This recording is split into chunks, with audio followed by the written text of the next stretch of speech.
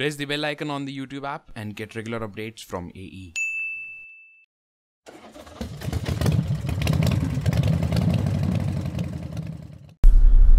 Hey folks, welcome to AE Rishabh here. So right now I am in the 2017 Skoda Octavia and uh, just you know before beginning uh, with the video, just before starting the video, I would like to ask you guys that I am thinking of starting a new Hindi channel. So or either a Hindi channel or a Hindi playlist, something like that. You know where obviously I'll uh, give you the same content but in the, uh, the different language, obviously Hindi. So should I do it or should I not? Just you know I need your reviews, I need your suggestions. So please write them down in the comment box below. And uh, as always, I'll give you the top six reasons to buy this car. So stay tuned and keep watching. As always, starting our video from the exteriors, obviously we'll talk about its front first. And oh my god, it doesn't look like the Octavia anymore. Talking specifically and only about the headlights, they are new and increased in number. Uh, technically, yes, because it has got a quad headlight setup with DRLs running through the entire LED module, which lights up when it detects low light. Other prominent modifications included are restyled bumpers and front grille resembling its bigger sibling, Superb. And for the cherry on the cake, there is a chrome strip running across the bumper too. The next thing we talk about is its side and its wheel obviously, whose duty is taken care by R16 Alcatraz alloy wheels and not to be confused with Alcantara, just above which are the windows with chrome strips along the side. Now come to the rear of the car and you'll discover many elements that are typical Skoda, with the same-ish LED tail light design and a boot, a big boot to be precise, a 590 liter of boot with hooks and whatnot. In terms of dimensions, Octavia is 4670 mm long with a width of 1841 mm and stands tall at 1476 mm with a ground clearance of 155 mm. Get inside and you will feel the real difference.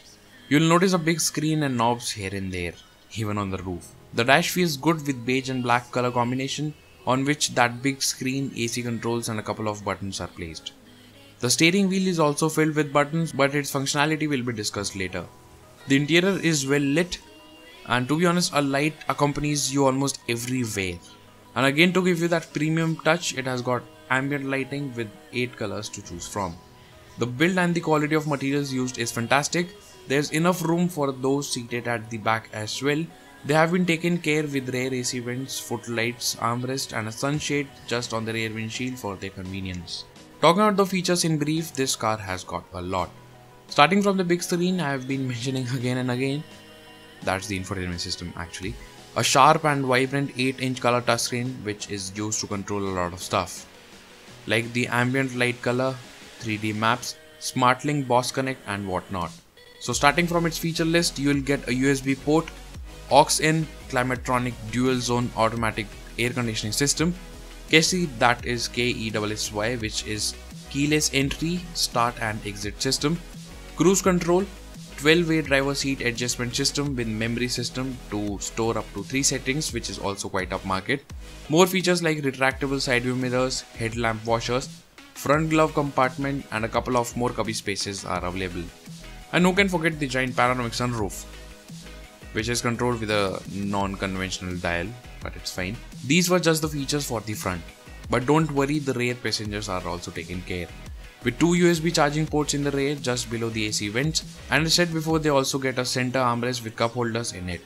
Most probably the most amazing feature I have experienced in a car and that is added in this car is the hands-free parking system. So that's a lot about the features. Now coming down to the safety aspects of this car, that is taken care by airbags. We have 9 airbags all around the car. Other than that, a rear view camera, hill hold control and iBuzz fatigue alert system which evaluates the data from the power steering and alerts the driver is also available. Now coming down to the point which you might have been waiting for the most. Under the hood there will be 3 engine options just like you have now. A 4 cylinder 1.4 liter TSI petrol engine producing 150 PS and 250 Nm of torque. 1.8 liter TSI petrol developing 180 PS and 250 Nm of torque. And finally a 2.0 liter TDI diesel developing 140 PS and 320 Nm of torque. Transmission duties have been taken care by a 6-speed manual or an automatic 6-speed and as well as a 7-speed DSG. And coming down to the prices, this car can be yours at a price of 15.49 to 22.90 lakhs ex-showroom Delhi.